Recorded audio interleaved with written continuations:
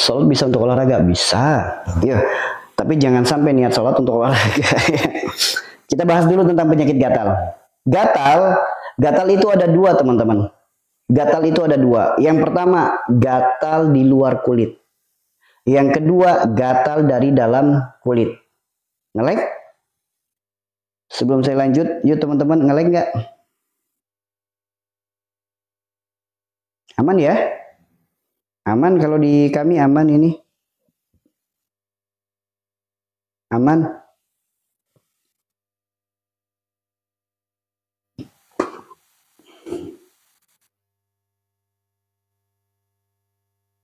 Aman.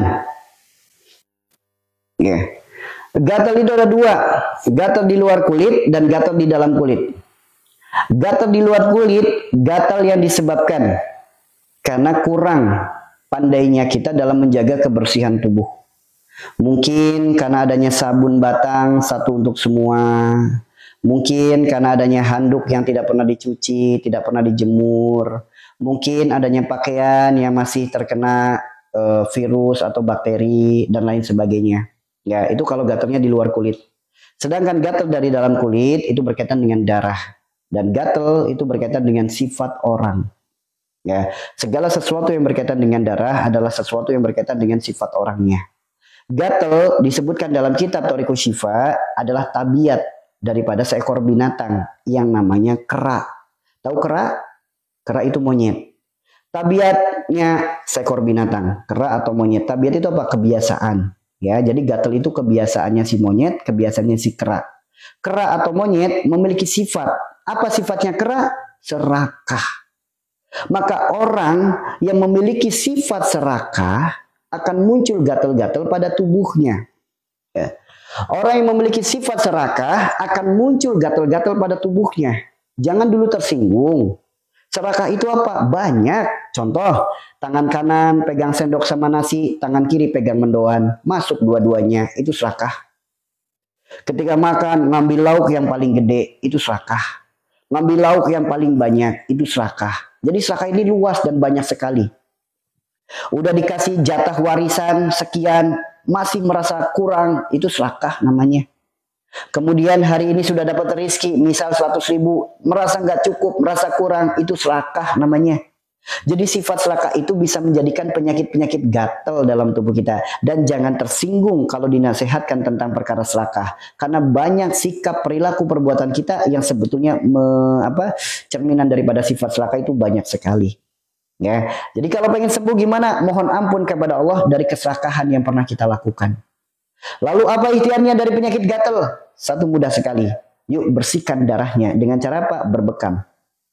Bekam itu dapat jaminan sembuh dari Rasulullah. Selain berbekam ada lagi enggak? Ada. Apa terapinya? Mandi air garam. Ingat ya, bukan garam rukiah ya. Memang mandi air garam adalah mandi apa terapi yang luar biasa. Terapi yang memiliki manfaat luar biasa. Namun rusak namanya gara-gara oknum pedagang agama yang jualan garam rukiah. Mandi air garam itu manfaatnya luar biasa teman-teman. Bukan hanya bermanfaat untuk perkara kulit saja, termasuk berbagai macam penyakit. Bahkan mandi air garam itu bisa menjadi asbab untuk mengeluarkan segala yang kotor, segala yang buruk, segala yang tidak baik, segala yang mengganggu, segala asbab sakit, segala penyakit, bahkan gangguan goib. Bahkan mandi air garam itu bisa menyempurnakan kembali sel-sel tulang kita, sendi-sendi kita, syaraf-syaraf kita, seluruh organ dalam tubuh kita. Namun sangat disayangkan, mandi air garam citranya rusak gara-gara oknum pedagang agama yang jualan garam rukiah. Padahal mandi air garam itu manfaatnya luar biasa. Sok yang penyakitnya bertahun-tahun belum sembuh, pengen ikhtiar dengan cara yang mudah, itu mandi dengan air garam. Itu manfaatnya luar biasa teman-teman. Luar biasa manfaatnya baik penyakit yang berada di kulit kita, apalagi penyakit-penyakit organ dalam tubuh kita, atau penyakit-penyakit yang kadang datangnya pindah-pindah, yang datangnya selalu ada jadwal, atau penyakit-penyakit yang turun-temurun dan lain sebagainya. Mandi air garam itu dahsyat sekali manfaatnya. Ya cuma itu ya, citra daripada mandi air garam rusak oleh oknum pedagang agama. Ya. Garam biasa boleh? Enggak. Ada garam khusus. Garamnya itu garam asli laut. Ya, asli garam laut mandi di air ya mandi pakai air jadi Mandi air garam itu garamnya khusus, garam laut. Garam laut itu yang gimana? Yang kerosok itu loh teman-teman, yang kasar. Ya, jadi eh, yang kerosok itu yang kasar. Tahu? Tahu nggak teman-teman? Sama, sob. Mandi air garam juga bisa untuk penyakit GERD, anxiety, asam lambung. Itu bisa salah satu ikhtiarnya mandi. Karena orang yang terkena penyakit anxiety kan pada takut mandi Ya, kenapa orang saya takut mandi? Ketakutan jadi was-was, kekhawatiran jadi was-was, kecemasan jadi was-was, was-was datangnya dari setan, setan takut apa? Setan diciptakan dengan dari api, api itu takut angin, takut air, takut dingin. Makanya orang kena anxiety, asam lambung, orang kena penyakit GERD, orang kena penyakit panik attack, takut dengan kipas angin, takut dengan dingin, takut sama air. Jadi malas mandi, jadi jarang mandi. Itu seperti itu ya. Waalaikumsalam, Ibu Maryam. Waalaikumsalam. Ya, mandi di air laut boleh boleh, namun luruskan niat, bukan niat di malam satu suro dan lain sebagainya, bukan. Luruskan niat. Memang mandi air garam itu manfaatnya luar biasa sekali. Ya, manfaatnya sangat luar biasa sekali mandi air garam. Cuma yaitu rusak namanya oleh oknum pedagang agama. Jadi seperti itu ya teman-teman ya. Seperti itu. Mandi air garam itu dengan catatan garamnya garam kasar atau garam krosok. Tahu garam krosok? Tahu garam krosok nggak teman-teman? Garam kasar. Silakan teman-teman beli aja ke pasar. Itu satu kilo paling 8 ribu. Paling 6 ribu. Ada yang 4 ribu. Ada yang 10 ribu. Ya, itu seperti itu. So, Gini, jangan dulu ditanya dengan penyakit-penyakitnya ya. Yuk sekarang kita pelajari terapi mandi air garam. Karena mandi air garam itu bisa jadi ikhtiar untuk mengeluarkan segala yang kotor, segala yang buruk, segala yang tidak baik, segala yang mengganggu, segala asbab sakit, segala penyakit, segala gangguan goib. Itu bisa jadi jalan sembuhnya. Dan mandi air garam itu juga bisa jadi ikhtiar untuk apa? Sempurna kembali struktur jaringan tulang kita, sendi-sendi kita, syaraf-syaraf kita, seluruh organ dalam tubuh kita. Itu sempurna lagi. Jika mandinya benar, caranya benar, garamnya juga garam yang asli. Ya, makanya yuk, ini saraf kejepit bisa sempurna lagi sarafnya. Jika jika mengikuti dengan cara mandi yang benar, yang ada tuntunannya, ya. Itu ada caranya nggak asal-asalan, teman-teman. Ya. Garamnya itu garam kasar, garam laut. Teman-teman bisa cari ke pasar. Biasanya di mungkin yang jualan garam di pasar itu, toko-toko yang di pasar itu kan suka ada tuh jualan garam garam laut yang kiloan, yang bentuknya gede-gede.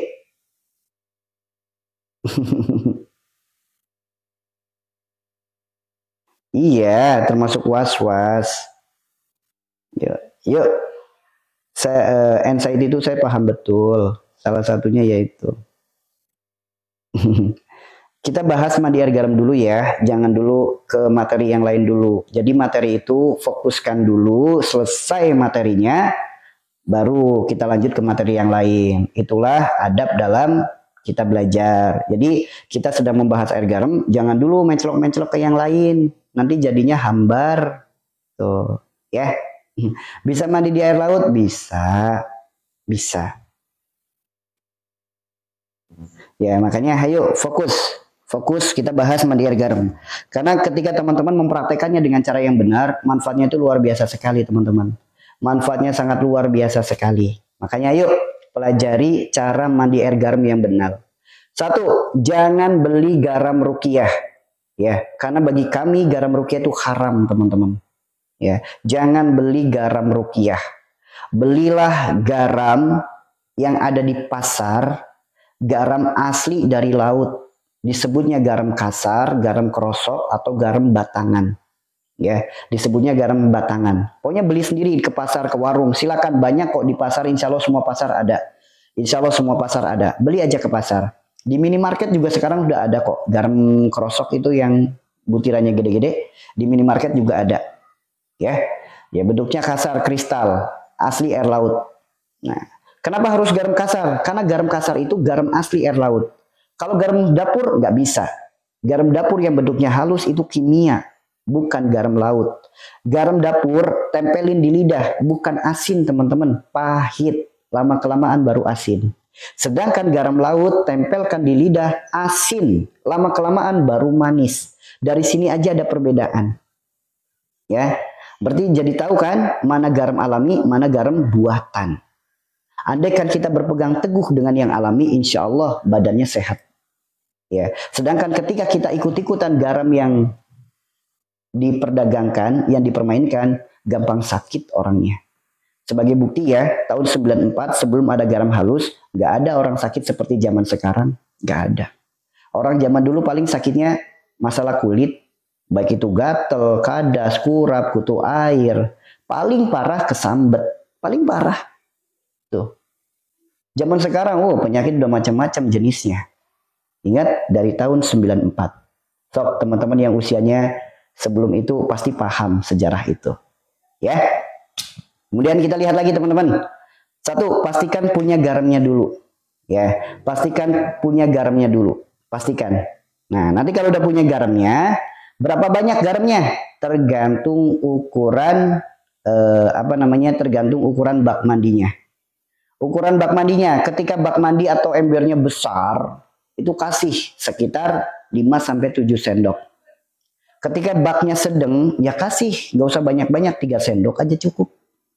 Ketika pakai ember kecil atau bak mandi yang kecil, cukup satu sendok atau tiga sendok, cukup.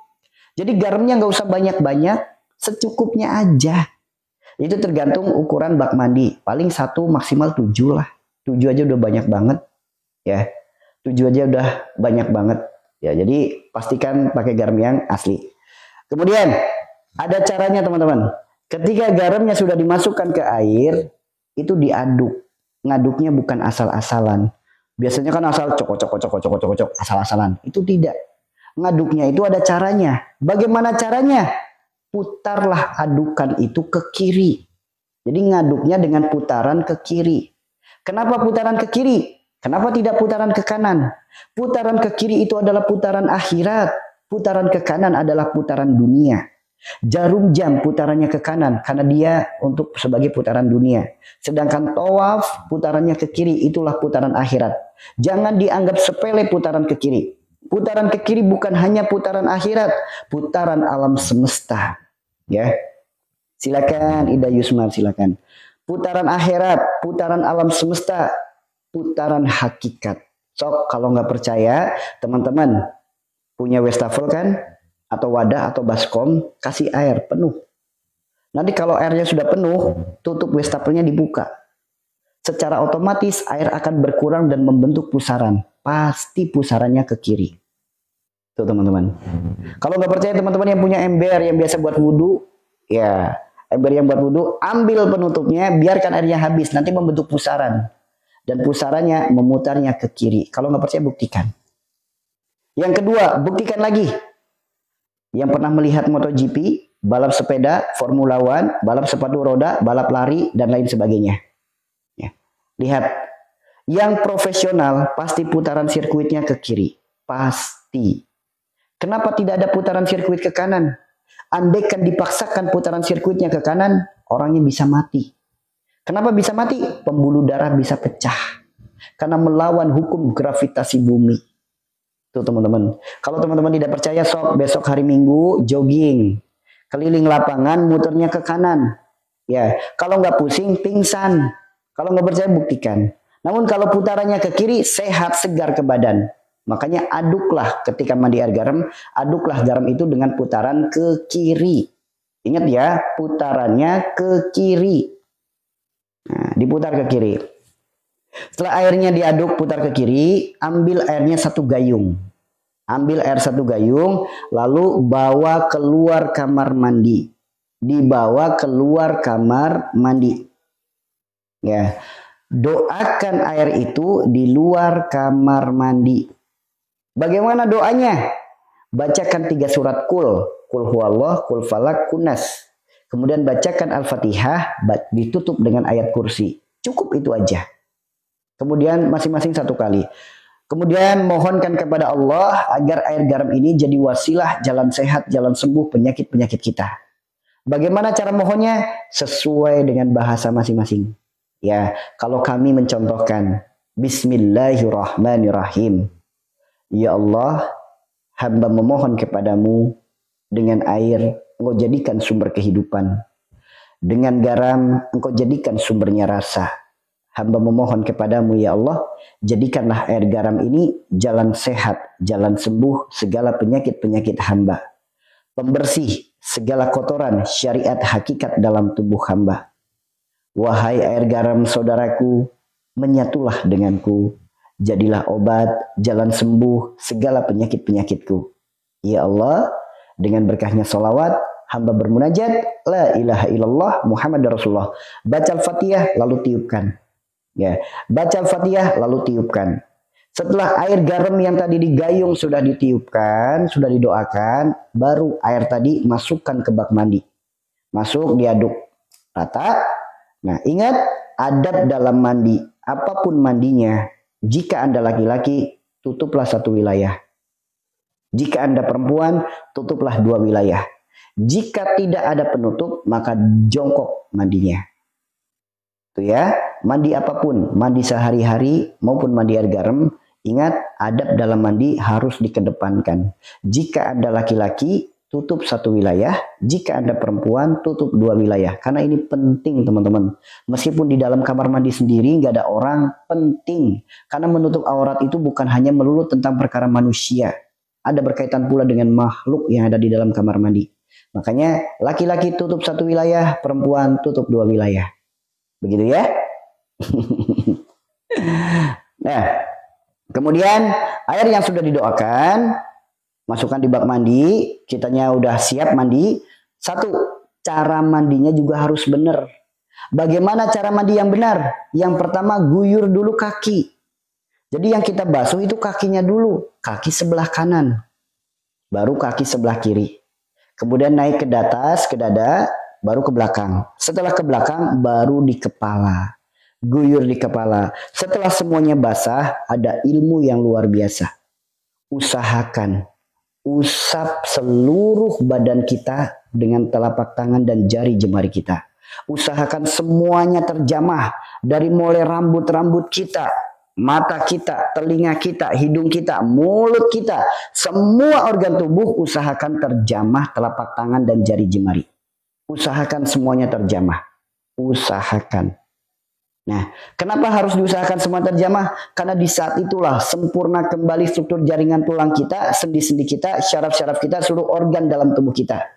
Bahkan jika ada orang setruk, satu tangan gak bisa digerakin, sok tangan yang gak bisa digerakin, usahakan nyentuh bagian tubuh yang lain menyentuh tangan sebelahnya. Dengan kita berjuang untuk menyentuhnya, insya Allah bisa menjadi asbab jalan kesembuhannya. Kenapa bisa seperti? Kenapa bisa seperti itu? Karena Allah ciptakan tangan kita dengan maha karunia yang sangat luar biasa. Tangan kita itu bukan sembarang tangan. Tangan kita itu memiliki kekuatan yang sangat dahsyat. Andaikan kita bisa mensyukurinya, kita bisa mempelajarinya. Karena tangan kita jumlahnya ada dua, di mana setiap tangan memiliki jari, di mana setiap jari memiliki ruas, setiap ruas jari dari kelingking sampai ibu jari setiap kali dihitung jumlahnya ada 33. Sebagaimana 33 kalimat tasbih. Begitupun telapak tangan kita. Telapak tangan kita membentuk garis. Di mana garis ini membentuk angka Arab. Ini angka 8, ini angka 1. Begitupun satunya, ini angka 1, ini angka 8. 18, 81 jika dijumlahkan berapa? 99. Sebagaimana 99 Asmaul Husna. Kemudian jari kita jumlahnya ada 5. Apakah 5 ini kebetulan? Tidak teman-teman. Andaikan kita lihat dengan seksama, ini membentuk lafaz Arab bagi teman-teman yang paham kaligrafi. Ini adalah alif, ini adalah lam, ini adalah lam, ini adalah ha. Dibacanya apa? Allah. Ini pun sama. Alif lam lam ha dibaca Allah. 99 asmaul husna, 33 kalimat tasbih. Tidak ada yang kebetulan teman-teman. Maka usap semuanya. Usap semuanya. Usap tangan kanannya, usap tangan kiri, usap semuanya. Sampai ke ujung jari-jari. Usap semuanya, usahakan terjamah. Yang tadinya pakai baju nggak bisa, Sok insya Allah nanti pakai baju mudah. Yang angkat tangan tadinya nggak bisa, insya Allah mudah teman-teman. Rutin melakukannya. Oke? Okay? Tuh. Nanti kalau udah diusap semuanya, udah diusap semuanya sampai ke seluruh kaki, paha, badan, semuanya terjamah telapak tangan dan jari jemari. Insya Allah teman-teman sempurna lagi struktur jaringan tulang kita, sendi-sendi kita, syaraf-syaraf kita, seluruh organ dalam tubuh kita. Makanya teman-teman bisa dicek nih. Yuk, jaringan tulang kita sempurna apa tidak nih? Apa sih menyebabkan jaringan tulang tidak sempurna? Satu, ada masalah pada tulang, osteoporosis, peradang sendi, kemudian ada apa namanya pengapuran dan lain sebagainya, asam urat, rematik dan lain sebagainya. Itu bisa dicek teman-teman. Bagaimana cara ngeceknya? Yuk saya contohkan ya. Teman-teman perhatikan ya. Tangan ke belakang seperti ini. Kemudian tempelkan dengan rapat. Jika teman-teman bisa seperti ini, ini tanda struktur jaringan tulangnya sempurna tidak ada radang sendi, tidak ada pengapuran, tidak ada rematik, tidak ada asam urat. Ini sempurna kayak gini. So, teman-teman bisa nggak? Tuh, itu ciri-cirinya. Makanya kalau sering mandinya seperti itu, nanti tang enak tangannya. Meskipun usia udah lanjut, misalnya teman-teman usianya udah lanjut, tetap bisa masih pegang telinga sendiri. Tetap masih bisa pegang belikatnya. Tuh, itu tanda-tanda tulangnya sempurna. Stop. itu seperti itu ya. Ketika tidak